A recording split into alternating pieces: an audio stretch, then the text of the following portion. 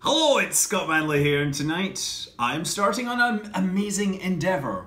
We choose to go to the moon via Lego. This is the Lego Ideas Saturn V set. It was the winner of the Lego I of one Lego Ideas competition. It just came out today. I had to go to the Lego store in San Francisco at 10 a.m. and I'm reliably informed that by uh, 11 they had sold out all their sets. So I'm very happy to have this. So yeah, it is almost 2,000 pieces. I noticed that it is cunningly 1969 pieces, as if that's some sort of magic number with respect to the Apollo program. It has, on the back, you can see it does full staging. It has all the different stages, including the fairings, the petals here attached. It has a little landing area for it. It has a return, a capsule return with the inflatable uh, collar around it. This looks amazing. It's about one meter tall. It's $120, which I'm gonna say is an amazing deal for Lego, I'm pretty sure. If you count the, the average cost of like uh, per brick is usually about 10 cents. 10 cents. So this is great deal. I am very excited to build this. So let's take a look at what's in the box. Ooh, excitement builds. We have some Lego. We get some nice circular panels here. We have more Lego with lots of things such as states and united because we are in fact in the United States or they're at least the ones that built it. Uh, yeah, lots more pieces. Okay, come on, we gotta find something. More pieces! My god, this is package one, two, three, four, five. I'm not very good at doing Lego unboxings, so He's bear with it, me as I'm trying to figure this out.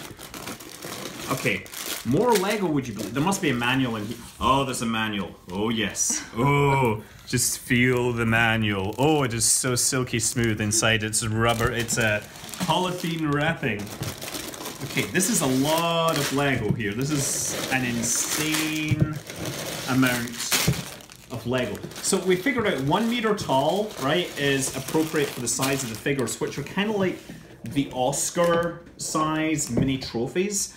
Um, somebody figured out that the minifigures have a scale of about 42 to 1. So your average minifigure, 42 to 1, with a 111 meter rocket, comes out to be about 2.65 meters tall, or about 8 feet, just over 8 to 9 feet tall, if you were to build a proper minifig scale rocket. So you know, one meter tall is still pretty big. In fact, it's bigger than the Revell model kit I built earlier this year. So here we go, Saturn V building instructions. I love the diagrams of the card. It looks a little aged, like an old thing. Nice hard cover to it, right? This is not a disposable manual. It's a nice thick cardstock cover with uh, photographs from the Apollo program. On May 25th, 1961, President John F. Kennedy challenged his country to safely send and return an American to the moon before the end of the decade. Yeah, so they come up, it gives you the whole journey to the moon with timelines for all the events so you can do your staging properly. Has a section on the fan that designed this and the team that helped bring the uh, final design to life. Uh, we got to, obviously, I like how they got dressed up to look like they were in the Apollo program. Yeah. They, these are what designers looked like. Uh, oh, and then they have, of course, the same section in French. Because, you know, the French are all about liberty and everything and space. And then Spanish. Uh, oh, and we have the Saturno 5. That's a different one. Wait a second, did I miss that on the English section? I'm curious now. Did, did that. Oh, there it is. Yes, they have it in English. I totally managed to page over that. Beautiful. It includes the whole a little guide in the bottom left corner. Sorry, yeah, bottom this corner here for you, right? About the um, transposition, rotation, and docking maneuver, right? So that's how they basically would take the spacecraft, the command module off, turn it around, pick up the lunar module, and then be on their way to the moon. What, else? So we have very, we have some ads at the back and then guide to the staging so you can see how the different parts work. Uh, and obviously that is kind of weird. It looks like he's grasping that in a way which is a little suggestive, considering it is a, a rocket. Wow. Um, how many pages are there in here? But almost 200 pages worth of instructions. And it's worth noting, actually, that the construction style here is really interesting. It's very different. Instead of having a lot of round pieces for the first stages, they've kind of got this octagonal structure in the middle where pieces are attached onto the side. I'm really interested to see how that'll work out. Uh, yeah, look, there's the F1 engines there. I am so looking forward to build this, but of course, I'm not going to narrate the whole thing the whole time. No, we're going to put on like a live Twitch stream and I'm going to record a time lapse and hopefully we will have a LEGO Saturn V for you soon.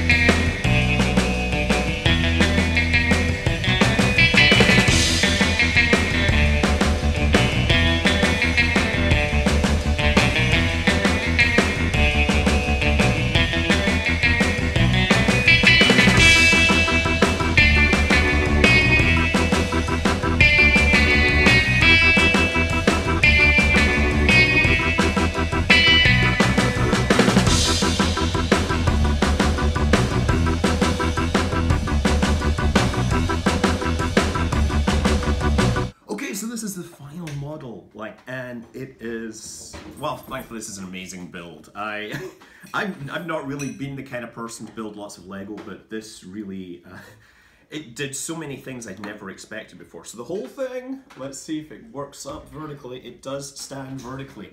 I come in here, let's start from the very top. Come in very close, Orion. So you can see they use these like fire hose structures to create the uh, lattice work of the launch escape system. We have the white cover here for which covers the capsule during ascent, as opposed to the actual capsule here, which is shown in splashdown mode with the uh, flotation collar. So that's the way they got around the fact that there was a, like a thin shield on the top. The, the ascent, oh, sorry, the service module, now this is the hard part. This does come off, right? And this is where the lunar module would go. So to actually get it off, you have to pop it apart and there's your service engine in there. I'm not going to do that, but it, it's one of the weaker points on this, where, where that is there. The lunar module, of course, is down here with the little uh, astronauts. Now, these are actually trophy figures, which were, uh, I can't remember what set they came in, but for comparison, there is a regular mini figure there. Obviously, now dying because he's on the surface of the moon. This is beautiful. The ascent stage comes off on its own. Yeah, I just keep saying beautiful. It's so darn beautiful here. Okay, so that does in theory fit inside here, but you're not going to want to do that. So we have third stage. Again, this does just secure in here, and I'm going to pull it off very gently. There we go. So we have uh, the, the ascent stage. Now, at this point, you're going to see that the profile is actually octagonal. These edge plates, these are like uh, roofing tiles which you stack along the sides. And most of the time building is actually spent building an internal structure to support all these uh, octagonal builds. It's it's like it blew my mind. It came up with all these really interesting construction techniques. These are things that are attached at uh, 45 degrees. You see how there's a little uh, lem, you know, lip in there to make that work. These, there's actually like a, a laser that sticks into the inside of this to match it.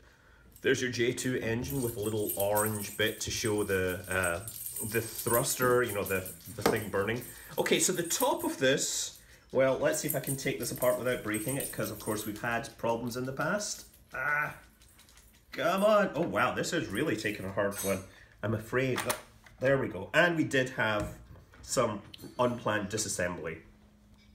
So while we're here, yeah, just you can take a look at the octagonal structure that's built inside, and these all kind of come together to make the shape of the first stage. So that's the first stage. This is the second stage. Again, uh, a lot of work to make this uh, go together here. There's pieces used in ways that I'd never expected. Fuel ducting along the side, or actually, yeah, I'll just say ducting along the side. I should probably look that up in the Apollo uh, Saturn V manual. Five J2 engines, you get the merest hint of the um, the conical shape of the uh, attachment point there. Yeah, this, uh, okay, other thing to note, right, is that while you have these, there's four of these, right, with the curved tiles, and the vertical parts have the United States, all printed, no stickers, by the way. These here, these are in sets of two, and they have a really interesting trick to attach them into the middle. So this thing is going for kind of accurate scale, but it's also, if you're a Lego fan, it's just using all sorts of construction te techniques you may never have encountered before. I know I haven't encountered them.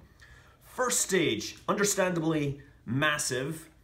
We have the F1 engines down here, five of them, largest single uh, chamber, you know, thrust chamber rocket engines ever built.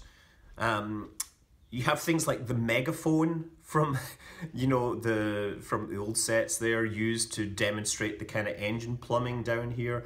This just this is such an amazing set. If you're a lego builder you will love this set. If you're a rocket fan you will see all sorts of details.